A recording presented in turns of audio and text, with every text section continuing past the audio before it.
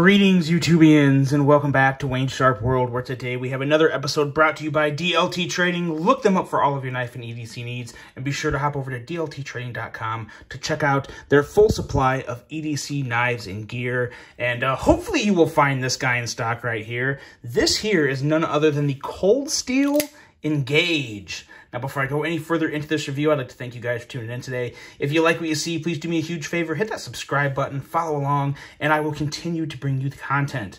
Now, let's take a look at some overall specs on this knife right here.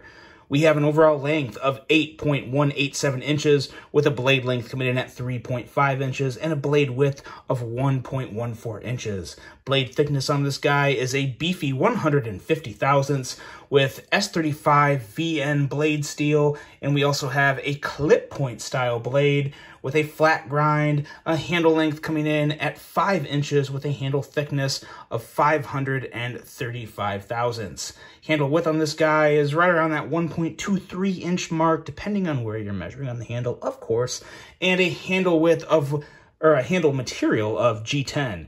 Now, special thing about this knife, I think most of you probably know it already.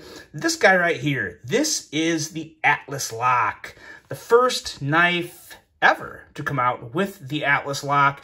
And uh, I gotta say, I had some doubts at first. I had some some uh, lingering concerns, but it's all pretty good in the neighborhood with this guy, and we'll, we'll talk about that here more in just a second. We have a user of a right or left hand tip-up carry, a weight coming in at 6.6 ounces, but I gotta say, it doesn't feel light, but it it, it feels like a light 6.6 ounces. I don't know how else to put that, but not too bad. If you're wearing jeans or khakis, 6.6 ounces, or any type of regular pants, as long as you're not wearing like basketball shorts or something with elastic waists, 6.6 ounces is not that big of a deal. It, may be to some people, but for me it's not, and I think for most people it's not. So not a big issue there. And price is coming in at $179.99 according to DLT Trading's website. But also keep in mind, if you see this cheaper somewhere else, let's, let's say Blade HQ has it on sale for uh, 165 or 170, whatever.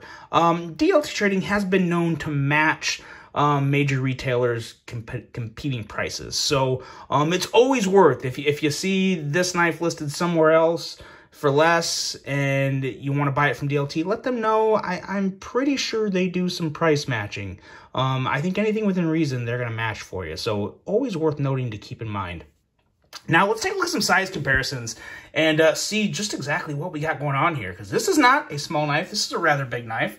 Um, before we hop on the cold steel train and take a look at some other cold steels, let's take a look at these two knives. We have the Damned Designs Basilisk, and I think Basilisk, whatever, you guys know about that, whatever.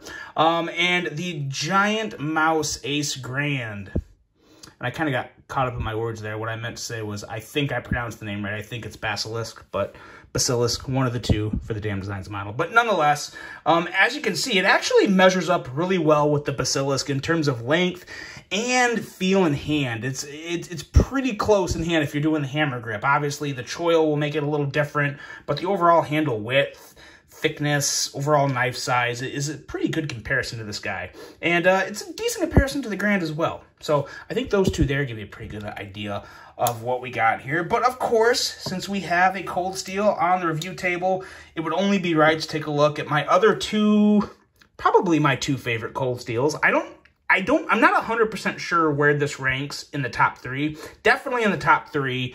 Um, it's probably ahead of this guy, the 4-Max Scout. Um, I don't open the 4-Max Scout during reviews anymore. I've learned my lesson. So I had that pre-open and just straight to set there. And then we also have the Cold Steel AD10. And I gotta say, I was ready, I was ready to call this Engage my favorite Cold Steel. I really was. The fidget factor's there. We'll touch on a lot of that stuff later. But when I pulled this AD10 back out, it the AD10 is just really good. It's really good. And I think the Engage is going to fall right behind the AD10 for me for a couple reasons. And, and, I'll point those out as we go. Um, AD10 still good. But this knife right here, the Engage, let's talk about it and let's let's talk about the goods and there well in my opinion i don't really think there's any bads to be honest there may be one bad that's a little nitpicky but in terms of the blade what we have here um pretty nice looking clip point with a very beefy tip here. Uh, definitely, this is a cold steel tip. Cold steel tips are never slicey. They're very sharp, but they're made to, to, to, to be a little, a little chubby brute. And that's what this tip is here. Very nice strength all the way up to the tip. Um, that S35 VN steel is going to hold up just fine. Um, and if it's anything like cold steels in the past, uh, the heat treat is going to be on point, going to be very good, uh, hold a really good edge for you. Now, thickness behind the edge on this guy is a little thicker than normal. We're coming in at 29 to 30 thousandths. Um, so that's not ideal, but at the same time, this is a very smooth edge, and I think that's it's worth pointing out. And when I say smooth, um, what I mean by it is it still feels like it actually slices pretty well at 29 to 30 thousandths. I mean, I've had other blades at 29 to 30 thousandths that just tear paper. This still slices through paper just fine. And what I mean by that is I, I think it's basically just a, a, smooth grind and it's a little wider or a, a, little wider angle of a grind. So you see a little more of a sharpened edge. Um, and it does work very well. Could it be, do I wish it had a hollow grind and was maybe coming in at 20 to 23 thousandths? Of course I do. But at the same time, not every knife is made to be a nice thin slicer. Some of them are just made to be brutes. And I think this is supposed to be somewhere in between that. So in terms of, I think, what they were going for with this model, I think they hit it pretty well. Um, definitely a knife that's going to hold up just fine for any EDC task and probably be really good for some heavy duty cuts and tasks as well. So um, I think they got the point across. I think they accomplished everything they wanted to accomplish with this blade uh, shape as well as, you know, the work that would be related to. Um, the one thing that I don't really like on this blade, and you probably already know it, um, this year I'm good with the the, the cold steel S35 Taiwan. That that's all good. It's it's you know it's the clip side. It's whatever I expect there to be a little branding there. I don't really like the model name billboard so big on the blade. I, I would much rather see engage instead of right front and center in, in a rather big font. I would rather see it down here, maybe like right where this angle is. Maybe just engage right there. That would be a lot better. This is just a little too it's, too much billboarding for me. I'm not a big fan of that. I really wish that wasn't there because I think if this was a little more of a cleaner blade, maybe move that engaged in a smaller, smaller font or smaller font size and bring it down here, text size, whatever you want to call it, and move it right here on this angle. I think that would have looked a lot better, but it, just the overall blade shape alone, I think is very good. Um, the thumb stud is in an okay place for me. It's it's a little far out in kind of, actually, no, you know, the more I look at it, I should have I already noticed this, but yeah, with the choil and the actual sharpened edge, um, the thumb stud is fully behind the cutting path, so no real issue there. And uh, as you go into these ergos and get them in hand, this is a knife that really does excel really, really good in the choked up position. It feels phenomenal in the choked up position. Uh, almost as good as the AD10. Almost. Um, where you start to feel the clip a little more is when you move back into this kind of just hammer grip and just get it right there in the middle of your palm. You you feel that clip more than you want to, and that's one of the reasons why I do kind of like the AD10 a little more. I don't mean for this to be a comparison video, but I just forgot how much I like the AD10. Um, the clip, it feels so good in hand because of the nature and how it's designed, um, and you still have your choil up here, and it feels good in either grip in your hand. Um, now, like I said, the engage feels fantastic in your hand, but you gotta get, you gotta be in that choked up position for me to really, to really truly enjoy, um, somewhat hand hugging ergos. Is, these are pretty darn good ergos, um, for this knife with that nice generous choil up there and you're real close to the blade. You're, you're good to go and good to work. I also wish, of course, you know I'm going to say this, but I wish there was some jimping right, right here, right? Going up to before it starts to get into the curve there. Some jimping right here that would be perfect. So you're you're sliding a little up there, um, but because of this uh, basically finger guard for your middle finger here. Um, I think it's going to protect your grip on the knife really well, so I'm not super concerned, but I really wish there would have been some jimping there. There, I definitely think there should have been. Um, but everything outside of that, with the exception of feeling the clip and more of the hammer grip, um, the ergos on this knife are pretty solid. The three milled lines on the handle look pretty good, actually. Um, they do add some grip and some texture, and I think they look okay. Um, so no real issue there. And then the clip itself, in terms of function, it's great. Uh, deep carry. I like how that that end is really low, but it's actually this is just up so high. It makes this a lot smaller than it really is. Um, there is enough room here to get over your average jeans and khakis and any types of pants you're wearing. Obviously, like basketball shorts are going to be fine, but then you run into the whole weight issue. But um, yeah, it's just really high back here as to where this isn't quite as low as it may look. It's enough for me to get uh, through any of my pants pockets. So no issue there, but because of how high this is raised up, you're going to feel that more in hand when you have it in the hammer grip. But again, if I'm using this, I'm probably going to have it in, uh, I'm going to be using that finger choil, so no real issue there. Uh, now, going into the action, this, of course, this is the, the, the $179.99 question on this knife is, is this Atlas lock good? Is it in a good spot? How does it feel to move that far down the handle to close the blade all the time?